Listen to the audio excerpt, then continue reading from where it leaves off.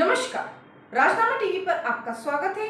मैं प्रिया, आपके साथ। करण जौहर के chat show, coffee with Karan का आठवां सीज़न इन दिनों बेहद सुर्खियों में है।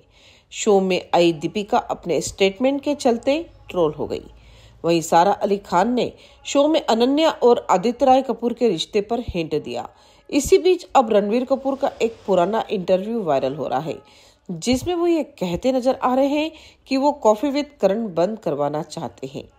वायरल हो रहा रणवीर का वीडियो एआईबी पॉडकास्ट का है, जिसमें वो फ़िल्म जग्गा जासूस के बारे में बात करने पहुँचे थे।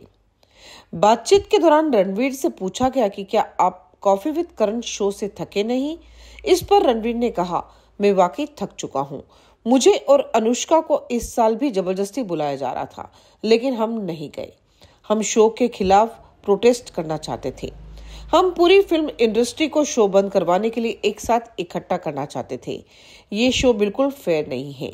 आगे रणवीर ने कहा, हमारे ज़रिए करण जौहर पैसे कमा रहा है। हम शो में आते हैं और साल भर पीसते हैं। ये बिल्कुल भी ठीक नहीं है। आगे उनसे पूछा कि शो में मिलने वाले हैम्पर्स में क्या होता है। इसके जवाब में उन्होंने कहा, कुछ नहीं। हमें कुछ नहीं मिलता। हर साल बस आईफोन ही मिलता है। इसी के साथ बने रहिए राजनामा टीवी के साथ। धन्यवाद।